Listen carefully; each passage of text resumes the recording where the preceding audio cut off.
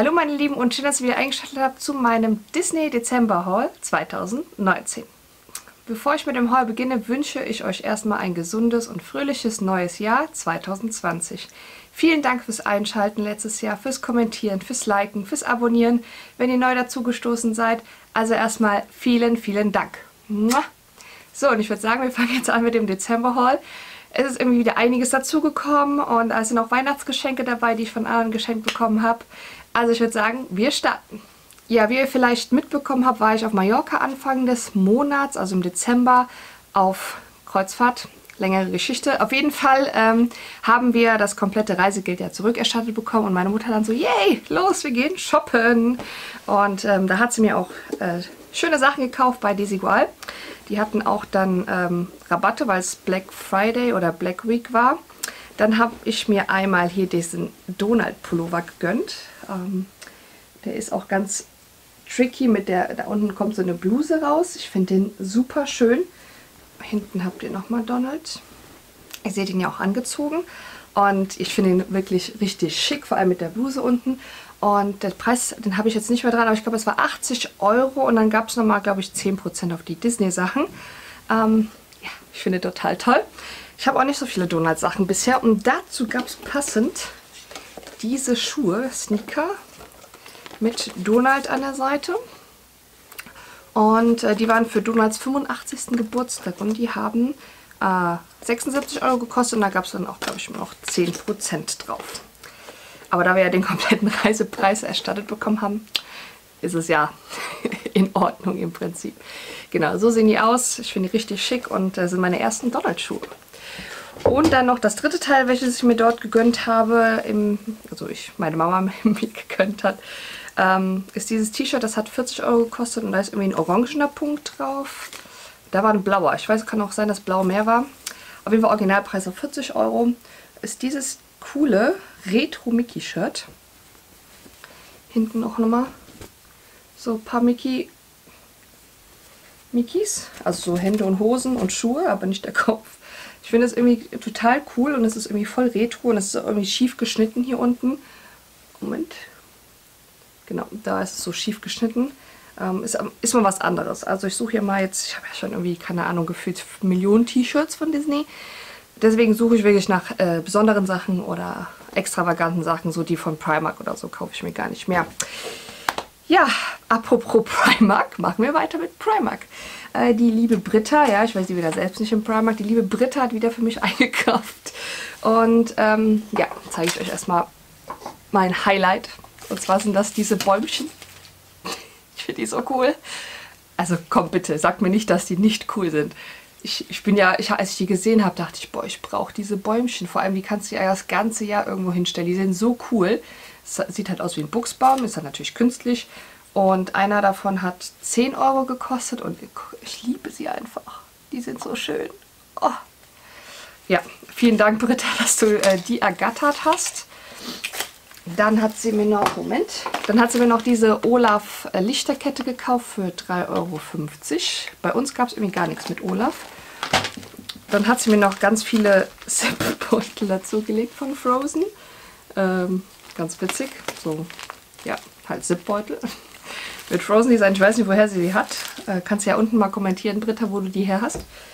Und dann hat sie mir noch diese Olaf-Decke mitgebracht für 8 Euro. Ich packe sie jetzt auch mal gleich aus und zeige sie euch. So sieht sie aus. Äh, überall Olaf drauf. Und ich finde, es ist jetzt auch nicht so Weihnachten. Das kann man jetzt auch im Winter ähm, gut auf der Couch liegen haben. Und äh, ja, Olaf geht ja immer, wie man schon an meinem Pullover sehen kann. Ich finde, es passt auch sehr gut zu den Ohren. Ja, apropos Olaf, ähm, im, wann war das? Im Oktober, glaube ich, kam schon so eine Preview für Shop Disney. Und da haben sie diesen Olaf-Rucksack gezeigt. Das Problem war irgendwie, irgendwie kam der nicht zu Shop Disney. Ich weiß nicht, ob es den jetzt mittlerweile gibt. Aber ich habe meinen von EMP. Ähm, ich packe euch unten auch die Links noch zu allen Produkten, die, die ich online gekauft habe, die es noch gibt. Und schaut euch diesen Olaf-Rucksack an. Die Arme kann man bewegen. Hallo, ich bin Olaf. Ich liebe Umarmungen und den Sommer. ja, Also ich habe mich wirklich, äh, ich war unsicher, weil es ein Launchfly-Rucksack ist und die Launchfly-Rucksäcke sind ja immer relativ klein. Aber der hier fällt etwas größer aus und es passt wirklich einiges rein. Ich bin jetzt auch einmal im Disneyland dabei. Und ja, wenn ich jetzt mich nicht fünfmal umziehe am Tag oder weiß nicht, eine ganze Tüte Snacks mitnehme, passt, der, passt das Wichtigste rein und ich finde ihn einfach so zucker, zucker süß. Und der hat, ich glaube, original kostet der 80 oder ich glaube 80 Euro. Aber bei EMP gab es dann vor Weihnachten ähm, etliche Rabatte und ich habe, glaube ich, 20, Euro, äh, 20 weniger bezahlt. Ja, und ich liebe ihn einfach. Ja.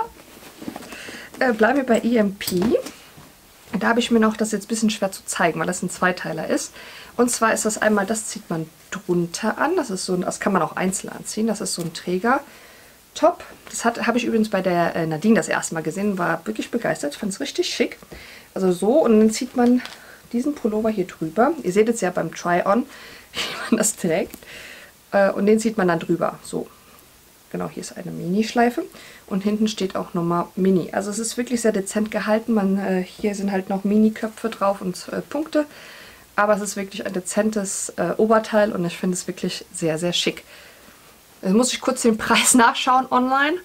Äh, der Ursprungspreis war 60 Euro, aber ich habe auch wieder bei EMP äh, zugeschlagen und ich habe, glaube ich, äh, 20 oder sogar noch mehr Prozente ähm, auf das tolle Teil bekommen.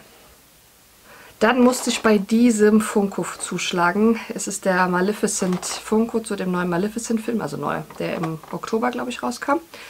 Und der war ja sehr schnell vergriffen und dann gab es ihn wieder, glaube ich, bei EMP und dann war er aber wieder vergriffen bei EMP. Dann habe ich ihn jetzt bei Amazon bestellt gehabt, weil ich ihn unbedingt haben wollte. Und ich finde, er sieht mega schick aus. Ich muss davon ein Bild machen vor dem Schloss. Ich glaube, den nehme ich im Januar jetzt mit. Also ich finde, ich blende auch nochmal ein Bild ein in groß, aber ich finde, die sieht mega cool aus. Und äh, die hat, glaube ich, 14 oder 15 Euro gekostet. Ist ja immer unterschiedlich, kommt drauf an, wo man die kauft. Aber die Funkos kosten ja alle im Schnitt gleich, außer die Lebensgröße Funkos. Genau, jetzt kommt noch Zara, Disneyland und dann kommen die Weihnachtsgeschenke zum Schluss. Äh, einmal, was ich Debbie gekauft habe, was ich mir doppelt gekauft habe und was ich auch geschenkt bekommen habe. Aber machen wir weiter mit meinem kleinen Zara-Einkauf und zwar einmal Schuhe. Ich liebe ja Zara-Schuhe, weil die aus der Kinderabteilung sind und die immer relativ günstig sind. Die haben jetzt äh, 25 Euro gekostet und die haben hier dieses, äh, diese verschiedenen Mickeys in den verschiedenen, über die verschiedenen Jahrzehnte, in verschiedenen Styles also früher in Schwarz-Weiß, Mickey Sorcerer, also als Zauberer, ähm, Steamboat Willie, also wirklich richtig cool. Und hier an der Seite steht noch Mickey Mouse. Und in der Kinderabteilung ist ja so, die produzieren die Größe bis 39, wo auch immer. Und ich habe ja Schuhgröße 38, deswegen passen die mir immer perfekt. Und äh, mittlerweile kaufe ich, also wenn es Disney-Schuhe gibt von Zara, hier ist übrigens eine rote Sohle, ähm, kaufe ich die, weil die also günstig sind, bequem und ähm, bisher sind, haben alle noch bei mir überlebt. Also von der Qualität auch in Ordnung. Man muss halt immer das Preis-Leistungs-Verhältnis sehen. Aber ich bin richtig verliebt äh, in das Muster und in die Optik und. Und das zweite Teil, was ich mir bei Zara gekauft habe, ist dieser Strickpullover. Er ist oversize, geschnitten, hat überall Mickey in so einem Oldschool-Look. Hier vorne glitzert sogar Mickey ein bisschen. Ihr seht es auch beim Try-On, ist jetzt schwierig zu zeigen wie er sitzt. Und äh, ich habe ihn mir in S gekauft, weil er wirklich sehr groß ausfällt. Und der hat 50 Euro gekostet. Aber ich finde, das ist halt wieder so ein anderer Style, so ein bisschen coolerer Style. Und ja, ich suche ja immer Sachen, die anders sind mittlerweile von Disney, die jetzt nicht so Hoodies und ähm, T-Shirts und so. Davon habe ich jetzt wirklich genug. Eigentlich habe ich auch von Spirit Jersey schon genug, aber gleich kommen noch mal zwei. Aber es ist so irgendwie bei Spirit Jerseys und Ohren ist das irgendwie so eine Le Sammelleidenschaft. Davon kann man irgendwie nie genug haben. Genau, der erste, na okay, das war der zweite eigentlich in dem Monat, den ich mir gekauft habe, aber den ersten, den ich euch jetzt zeige, ist dieser Star Wars Spirit Jersey. Und zu den Sachen, ähm, ich habe entweder 20 oder 30 Prozent darauf bekommen, weil ich ähm, am Anfang des Monats, ne, in der Mitte des Monats war es, da gab es das Annual Pass Event. Äh, Wenn es euch interessiert, schaut bei dem i vorbei. Ähm, das war wirklich ein tolles, tolles Event und da gab es dann am Wochenende 30% für Jahreskarteninhaber und ansonsten habe ich einmal 20%. Also, einmal hier dieser coole Star Wars äh, The Rise of Skywalker Spirit Jersey. Den gibt es ja auch schon länger und ich, hab, ich fand den wirklich von der Optik. Auf Bildern sieht er wirklich cool aus mit diesen Sternen. Also man kann jetzt nicht sagen, ich bin der Non-Plus-Ultra Star Wars Fan. Ich kenne die Star Wars Filme, ich habe sie gesehen, ich habe auch den neuen schon gesehen. Ähm, ich bin ja ein Riesenfan von The Mandalorian, muss ich dazu sagen. Baby Yoda hat mein Herz zum Schmelzen gebracht und äh, ich habe mir auch schon irgendwie alles von Baby Yoda vorgestellt, was ging. Und ähm, vielleicht kommt im nächsten Monat, im äh, dem nächsten Haul noch ähm, was Neues von Baby Yoda, wenn der Florian erfolgreich war in Kalifornien. Mal schauen. Ähm, aber Baby Yoda hat mein Herz erreicht. Ich bin so ein Baby Yoda-Fan. Ich blende euch mal ein Bild an, damit ihr weißt, wisst, wovon ich rede. Vielleicht kennen noch nicht alle Baby Yoda. Und eigentlich ist das auch nicht sein offizieller Name. Eigentlich heißt er nur The Child, also das Kind. Aber da er aussieht wie Yoda, nur in als Baby, nennen ihn alle Baby Yoda. Genau, also zurück zu Spirit Jersey. Die kosten ja alle 60 Euro. Und ähm, ich habe mir den dann doch gegönnt. Ich dachte, für die neue Star Wars Season ab Januar, wo ich dann auch bin, kann ich den gut tragen. Und auf Bildern sieht er wirklich schick aus. Was ich nicht so toll finde, ist hier dieses vorne, dieses, ähm, diese Lichtschwerter, die sich kreuzen. Aber hinten, das sieht wirklich ganz, ganz toll aus. Und ja, dann habe ich halt ein Star Wars Spirit Jersey und ähm, kann ich ihn dann immer anziehen, wenn ich irgendwas für Star Wars brauche. Dann habe ich bei 30% zugeschlagen und zwar habe ich einmal mir diesen Ring gekauft. Ähm, ich blende euch ein Foto, ein besseres Foto hier ein. Ich glaube, der hat 40 Euro gekostet, der Ring. Und dann habe ich mir noch passende Ohrringe dazu gekauft. Also passend jetzt nicht genau, oder? Ne, es ist, doch, es ist mini. Also, wieder ein Foto, ich zeige es euch nur hier so. Ähm, passende Mini-Ohrringe, so Art Kreolen. Ich finde die sehr, sehr, sehr schick. Und die haben jetzt, muss ich mal gucken, 50 Euro gekostet. Aber ich habe ja gesagt, es gab 30% Rabatt. Und ähm, da musste ich halt zuschlagen. Ich finde den Ring richtig schick. Dann hat der liebe Daniel, als er in Disneyland war, ich habe, also je, jedes Mal kommt irgendwie ein neuer Name dazu, ähm, mit diesem Elsa-Pin gekauft. Das ist so eine Art Sicherheitsnadel, sieht das aus. Und perfekt für die neue Frozen Season ab Januar. Ähm, Bild seht ihr hier nochmal genauer. Und der hat 10 Euro gekostet, aber äh, Daniel hat ja auch Rabatt. Dann gab es, ähm, als ich am Mitte des Monats da war, gab es 30% auf diese tollen Lebkuchen ähm, Plüschis. Die gibt es mittlerweile nicht mehr mit 30%, was ich nicht so ganz verstanden habe. Irgendwie Mitte des Monats gab es dann 30% und dann irgendwie nicht mehr. Naja, strange. Auf jeden Fall kosten, kosteten die 20 Euro. Dann gab es die, die normalen Sale 30% und dann hatte ich, glaube ich, noch 20% Rabatt mit meiner Jahreskarte bekommen. Also ich glaube jetzt so 11, 12 Euro haben sie am Ende gekostet und dafür sind sie wirklich süß. Und ähm, ja. Dann musste auch das neue Kuscheltier von äh, Frozen mitkommen, Bruni, der Salamander. Den gab es eine Zeit lang auch nicht, der war ausverkauft, ähm, aber den gibt es jetzt wieder. Und der kostet 13 Euro Originalpreis und ich finde ihn wirklich süß, habe auch schon ganz viele Bilder mitgemacht und der kommt auch wieder mit im Januar zur Frozen Season. Hallo, ich bin Bruni. Ich glaube, der redet gar nicht. Aber das ist ja dieser Feuer, Elemente-Salamander. Genau, finde ich ganz süß. Hallo. ist er wieder schlafende Sven irgendwie. Der war richtig ähm, begehrt, den Schlaf. Ich weiß nicht, mittlerweile den schlafenden Sven wieder gibt. Ähm, ich hoffe es mal, weil der ist wirklich sehr begehrt. Aber Bruni gibt es mittlerweile wieder. Aber mal sehen, wie lange. Bei Disney weiß man das nie so genau. Irgendwie kalkulieren die immer komisch. Dieses, dieses komische Pferd, ähm, Denok heißt es, glaube ich. Das gibt es ja tonnenweise, aber es will auch irgendwie keiner haben. Es ist auch irgendwie komisch als Kuscheltier. Egal, andere Geschichte. Dann habe ich ja eben gesagt, ich habe mir noch einen zweiten Spirit Jersey gekauft und zwar kam eine neue Kollektion, Kollektion, hm, im Disneyland raus, ähm, kurz vor dem Annual Pass Event, wo wir da waren und zwar die Belle of the Bronze Kollektion. Sieht man hier den Ärmel nicht? Genau, also es ist ein schwarzes Spirit Jersey und in Bronze steht dann hinten, richtig, sieht richtig cool aus. Disney in Paris. Und unten ist noch so Gesprenkel. Viele sagen, es sieht aus wie, ähm, wenn man auf der Toilette war und ähm, es einem nicht so gut geht. Ich finde es nicht. Ähm, ich finde ihn richtig schick. Ähm, aber ist auch Geschmackssache bei den Spirit Jerseys. Entweder man liebt sie oder man hasst sie, vom Schnitt her. Und ähm, ja, ich liebe sie. Ich sammle sie ja gefühlt. Ja, ich weiß, ich soll noch ein Spirit Jersey Haul sozusagen machen, ein Show-Off, wo ich alle meine Spirit Jerseys zeige. Aber wie, wie bei den Ohren kommen irgendwie jeden Monat noch neue dazu. Aber ich habe mir das vorgenommen zwischen Januar und April irgendwann, weil ich zwischen Januar und April noch keinen Disneyland Paris-Trip geplant habe. Ob ich das durchhalte, weiß ich nicht. Aber im März bin ich ja in Shanghai und in Hongkong. Ähm, vielleicht halte ich es ja dann durch. Ähm, ein paar Monate auf Entzug. Und ähm, ja, da ich dann trotzdem Videos hochladen will, ähm, habe ich mir schon einiges überlegt. Und dazu gehört einmal ein Ohren-Video, ähm, wo ich alle meine Ohren zeige und auch ein Spirit Jersey Haul sozusagen, wo ich alle meine Spirit Jerseys zeige bis dahin. Ja, also Belle of the Bronx Spirit Jersey plus passende Ohren dazu. Es gibt auch den passenden Loungefly-Rucksack dazu. Ähm, aber wie ich eben gesagt habe, die meisten Loungefly-Rucksäcke sind klein und finde ich sehr unpraktisch für den Park und ansonsten zieht man die jetzt nicht so oft an. Aber ich finde auch den wunder wunderschön und wer mit der Größe klarkommt, gerne. Also wie gesagt, ich finde ihn wunderschön. Aber das sind die passenden Ohren und die kosten Originalpreis 23 Euro. Diese Sparkling-Ohren sind etwas teurer geworden jetzt in Disneyland. Und dann Anfang des Monats oder was Ende letzten Monats, ich weiß nicht, auf jeden Fall habe ich sie erst im Dezember bekommen. Die liebe Nadine war im Disney Store in London und hat diese coolen Weihnachts-Rentierohren gekauft. Die haben 20 Euro gekostet am Ende und ich finde die wirklich super süß. Die sollten es auch ins Disneyland schaffen. Also warum die es dann nicht äh, ins Disneyland geschafft haben, verstehe ich auch nicht weil die sind wirklich sehr, sehr süß. Genau. Kleine Rentierohren. Danke, Nadine.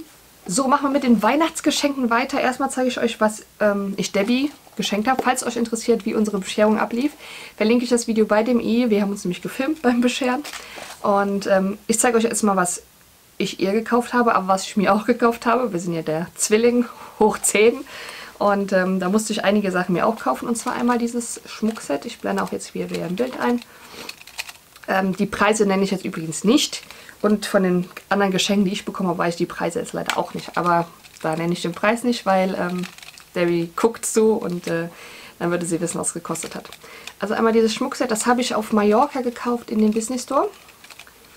Finde ich richtig schick, passend. So ist einmal Roségold Mini und ähm, Silber Mickey mit Glitzer und die passenden Ohrringe. Richtig schick. Und dann habe ich ihr hier dieses ähm, von Merci Handy. Ähm, das sieht richtig cool aus. Ich packe es gleich mal aus. Das sind ähm, 1, 2, 3, 4, 5.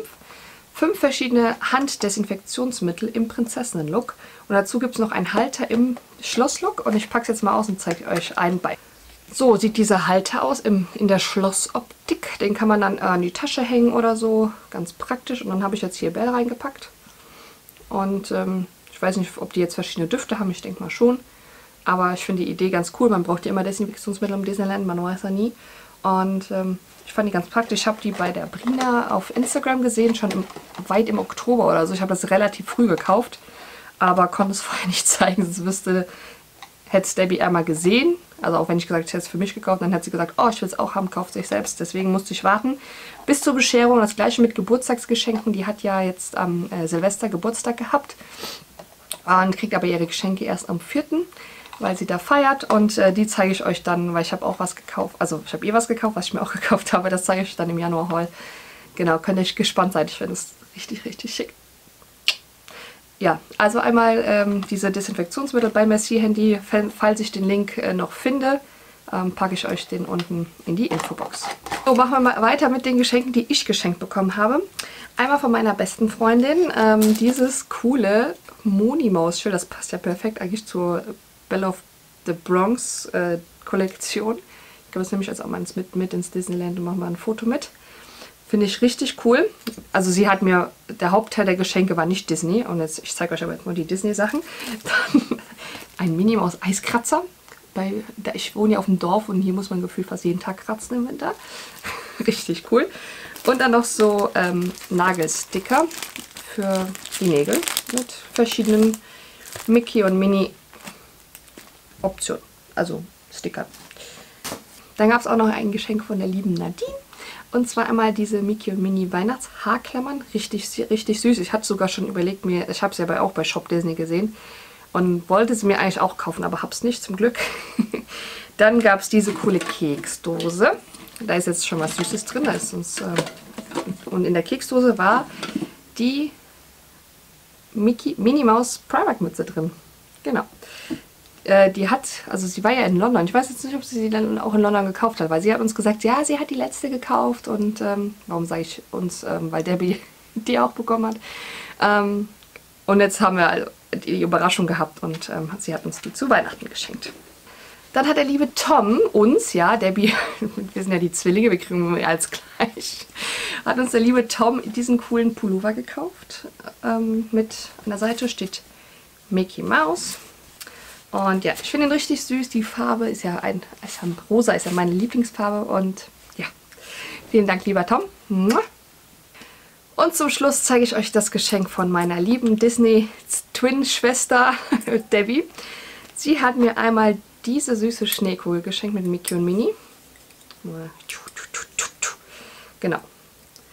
Das ist meine erste Schneekugel. Ich habe noch, hab noch keine Schneekugel und ich finde die wirklich süß. Hier steht auch die Jahreszahl drauf, 2019. Das ist ja das Jahr, an dem wir uns kennengelernt haben. Es fühlt sich zwar schon an wie eine Ewigkeit, aber wir haben uns erst dieses Jahr kennen, also nee, letztes Jahr, 2020. Wir haben uns erst letztes Jahr kennengelernt im Mai und ähm, ja, es hat wirklich eine, eine Freundschaft fürs Leben entstanden und das symbolisiert so ein bisschen das Jahr, finde ich ganz cool und ähm, ja, Miki und Mini sehen richtig schick aus. Dann hat sie mir diesen Pullover geschenkt, der ist von Primark, weil ich habe ihn selbst im Primark gesehen, aber ihn mir nicht gekauft. Und zwar in Bonn habe ich ihn gesehen, da stand aber davor und dachte, hm, ja, nein, vielleicht. Aber jetzt hat sie mir ihn geschenkt und zwar, der hat auch so eine coole Kapuze hinten. Das, ähm, ich mag den Stil und er ist halt so ein bisschen zurückhaltender und ja, richtig schick. Dann hat sie mir Socken geschenkt von aus dem Action. Ich war ja auch nie in diesem Laden. Und ähm, Größe, nochmal zur Betonung, 31 bis 34. Sie ist der Meinung, es passt. Also sie hat größere Füße und sie meinte, ihr passen sie auch. Ich bin gespannt, ich habe es noch nicht anprobiert. Ich muss das mal waschen. Aber äh, Mini-Weihnachtssocken. Ich finde sie richtig schick. Ich muss noch anprobieren, ob sie passen. ja, dann hat sie mir noch Kekse geschenkt. Die sind wohl auch aus dem Action. Ich muss mal in diesen Laden. Wir haben auch einen Action hier. Ich glaube immer, bei YouTube gibt es ja ganz viele Action-Horts. Aber ich habe noch keinen angeguckt. Ähm, und dann hier so süßes, so kleine Ess-Dinger aus dem Disneyland Genie, glaube ich. Da kann, und wenn die Dose leer ist, kann man da was anderes reintun. Dann ähm, ein Armband, ein Freundschaftsarmband. Das hat, sie hat nämlich das gleiche. Ihr seht beide Armbänder hier auf dem Bild. Da ist ein kleines M drauf für Monimaus. Ich habe es erst nicht verstanden. Ich dachte M für Mickey. Nein, für Monimaus und sie hat ein D drauf. Und dann noch dieses super, dieses super schöne Bildcollage mit drei super schönen Bildern von uns. Das ist ja eines meiner Lieblingsbilder. Mit der Grinsekatze, da sehen wir beide umwerfend cool aus und toll. Und ähm, dann noch zwei Selfies mit meinem Handy. Der steht ja total auf meine Selfies von meinem Handy. Ich habe ja ein Huawei P30 Pro und das macht richtig, richtig coole Selfies. Und ähm, da mussten natürlich dann auch zwei Selfies drauf. Ja, das waren meine, äh, mein, mein Dezember-Haul, meine Weihnachtsgeschenke von Disney und ähm, ja, war wieder einiges dabei, aber ich hoffe, es hat euch gefallen. Ähm, hoffe, ihr seid gut ins neue Jahr gestartet, wünsche euch einen tollen Januar. Ich bin ja jetzt zur Frozen und Star Wars Season im Januar, werdet ganz viele Videos bekommen. Ich bin sehr gespannt auf die neue Frozen-Parade. Ja, mit dem, mit dem größten Wagen, den es je gab im Disneyland Paris. Also ich bin sehr, sehr gespannt. Und ansonsten, ja, schönes neues Jahr nochmal und äh, wir sehen uns beim nächsten Video. Bis dann. Ciao.